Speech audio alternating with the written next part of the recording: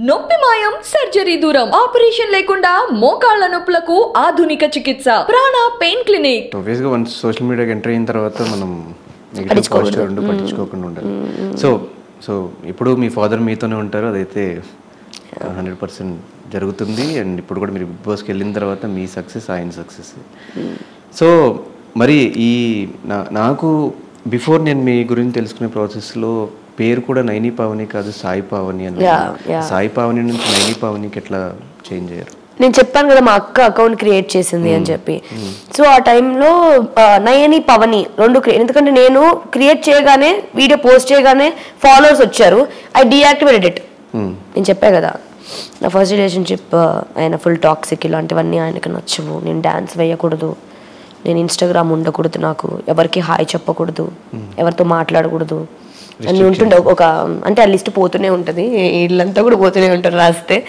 So అలా ఉంటుండే. So భయం వేసి నేను నాకు ఇన్స్టాగ్రామ్ వద్దు నాకు వద్దు అని చెప్పి నేను డియాక్టివేట్ చేస్తా. I can't tell the truth చెప్తే అవసరమా నీకు? అని అంటారని ఇంట్లో భయం వేసి రీజన్ చెప్పకుండా నాకు వద్దు ఇన్స్టాగ్రామ్ ఇంట్రెస్ట్ లేదని చెప్పగానే మా అక్క అంత సీన్ లేదు.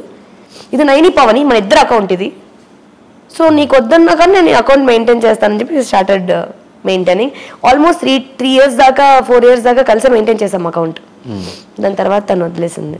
And what is your goal ఇన్ఫ్లుయెన్సర్గా ఉండిపోదామనా యాక్టర్ అవుదామనా లేదంటే అంటే నాకు ఆబ్వియస్లీ నేను ఫస్ట్ స్టార్టింగ్ నుంచి ఇన్ఫ్లుయెన్సర్ అనేది బ్రాండ్ ప్రమోషన్స్ అనేది ఫస్ట్ తెలియదు నాకు.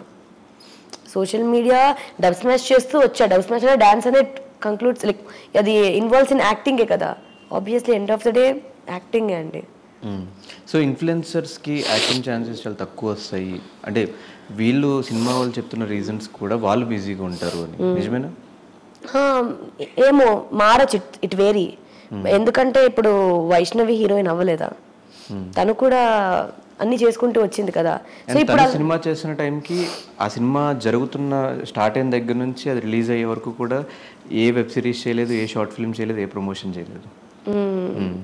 మేబీ ఐ డోంట్ అట్లా చాలా మంది ఇన్ఫ్లుయెన్సర్స్ గ్యాప్ తీసుకోవడానికి ఆలోచిస్తున్నారని అవునంటే ఇప్పుడు ఏంటంటే ఇప్పుడు నేను కూడా అలా గ్యాప్ ఇవ్వాలి అంటే ఇల్లు గడవాలి రెంట్ కట్టాలి తిండి తినాలి ఒక మమ్మీ ఉన్నారు ఇంట్లో నాకు మూడు కుక్కలు ఉన్నాయి అవన్నీ ఆలోచిస్తాను కదా. అది కూడా రీజన్స్ అవ్వచ్చు. ఎందుకంటే అవును మనకి ఇష్టం ఒక దాని మీద నమ్మకం పెట్టుకుంటాం. బట్ కానీ మన ఎవ్రీ మంత్ ఎక్స్పెన్సెస్ అనేవి కూడా ఇంక్లూడెడ్ కదండి. అన్నీ వదిలేస్తే ఎలాగా? సో మరి ఈ మధ్యలో ఎప్పుడు సీరియల్ ఆపర్చునిటీస్ ఏం రాలేదా? సీరియల్స్ ఎప్పటి నుంచో వస్తున్నాయి ఆపర్చునిటీస్ బట్ సీరియల్స్ ఇప్పుడు కరెక్ట్ కాదు అని చెప్పి ఇప్పటి వరకు యాక్సెప్ట్ చేయలేదు యాక్చువల్గా అయితే. అదే రీజన్ లేదంటే సీరియల్స్ చేసి సినిమాలు చేయలేము అని. అది కూడా one of the reason but both firstly I should be interested కదా. సో చాలా వరకు డ్యాన్స్ వీడియోస్ ఎక్కువ చూస్తూ ఉంటాం. మీ డ్యాన్స్ అందరికీ నచ్చుతూ ఉంటుంది. ఈ డ్యాన్స్ అంటే ఇంట్రెస్ట్ ఎప్పటి నుంచి? చిన్నప్పటి నుంచి. ఇంకా పుట్టినప్పటి నుంచి డాన్స్ చేస్తున్నాయేమో నాకు తెలియదు కానీ మమ్మీ వాళ్ళు చెప్పే చెప్పేవాళ్ళు. చిన్నప్పటి నుంచి డాన్స్ అంటే చాలా ఇష్టం. అంటే నేర్చుకోలేదు ఏం లేదు కానీ టీవీ చూసి వేయడం. ఇంకా తెలియకుండా నా బాడీలో ఐ డోంట్ సే దట్ నేను ఒక ప్రాపర్ పర్ఫెక్ట్ డాన్సర్ అని చెప్పలేను కానీ నేను డాన్స్ చేస్తే నలుగురు నచ్చుతుంది. సో నాకు నచ్చుతుంది డాన్స్ చేస్తే ఎవరు ఇన్స్పిరేషన్ ఇన్స్పిరేషన్ ఏం లేదండి. ఫిల్మ్ ఇండస్ట్రీలో ఎవరు ఎవరు వీడియోస్ ఎక్కువ చూస్తూ ఉంటారు? ఎవరు సినిమాలకు ఎక్కువ వెళ్తూ ఉంటారు? అందరి సినిమాలు నాకు అందరి సినిమాలు అంటే నాకు ఇష్టం. పర్టికులర్ ఏం లేదు కానీ but I love Suriya favourite hero అని చెప్పాలి అంటే ఎప్పటి నుంచో నాకు సూర్య గారు అంటే చాలా ఇష్టం. But I love every one like you know ఒక మూవీ చూసినప్పుడు చిన్నప్పటి నుంచి ఎలా అనిపిస్తుంది చిన్నప్పుడు అడిగేవాళ్ళు నీ ఫేవరెట్ ఎవరంటే నేను చెప్పకపోతుండే. ఎందుకంటే ఈ మూవీ చూసినప్పుడు నాకు ఈ హీరో ఫేవరెట్ ఉండేవాళ్ళు. ఆ మూవీ చూసినప్పుడు ఆ హీరో హీరోయిన్స్ కూడా అంతే. అట్లా వేరే అవుతూ ఉండే. సో ఇప్పుడున్న ఫేవరెట్ ఎవరు? ఎప్పటి నుంచో సూర్యనే నా ఫేవరెట్ ఇప్పుడు సూర్యని? హీరోయిన్స్లో ఎవరు యాక్టింగ్ ఎక్కువ ఇష్టం? ఎవరిని ఎక్కువ ఫాలో అవుతూ ఉంటారు? డ్రెస్సింగ్లో కానీ మిగతా విషయాల్లో గానీ? నేను డ్రెస్సింగ్లో అట్లా అంత ఎవరిని ఏం ఫాలో అవ్వను. నా ఓన్ థింగ్ కానీ బట్ ఎందుకో సమంత అంటే ఇష్టం నాకు? క్యూట్గా Samantha.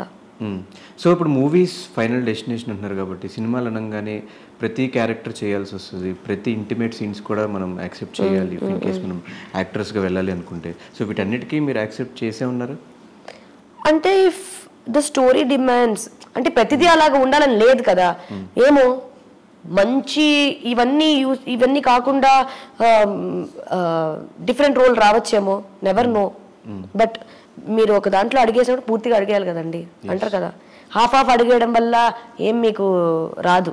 So you can do any any roles ya I can do any roles ya okay so మరి ఎందుకు మధ్యలో షార్ట్ ఫిల్మ్స్ కూడా ఆపేశారు?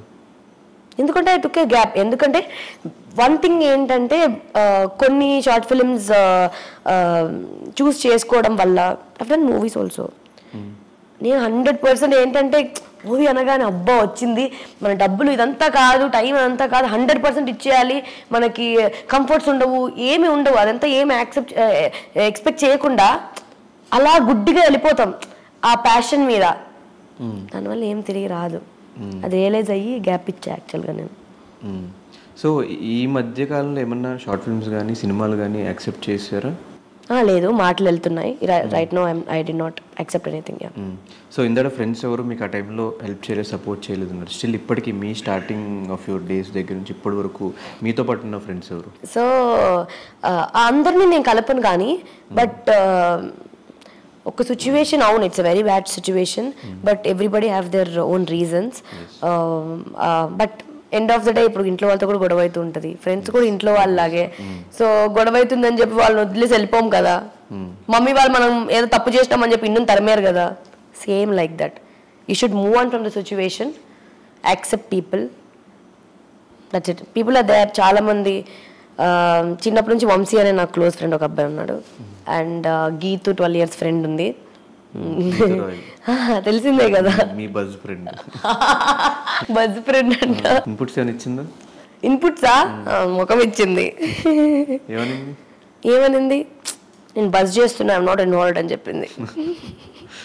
సో ఒక కాలేజ్లో పక్క పక్కన కూర్చునే దగ్గర నుంచి ఇప్పుడు ఇంక ఫ్యూచర్లో బస్లో ముందర ముందర కూర్చొని మాట్లాడుకుంటాం అనుకుంటాం మేము. నేను ఎగ్జైటెడ్ ఆ రోజు గురించి. ఇంకెవరు ఫ్రెండ్స్ ఉన్నారు? విక్రాంత్. విక్రాంత్ ఒక ఫైవ్ ఇయర్స్గా చాలా క్లోజ్ ఫ్రెండ్ అయిపోయాడు ఇంకా మా ఇంట్లో అబ్బాయి లాగా ఇంకా.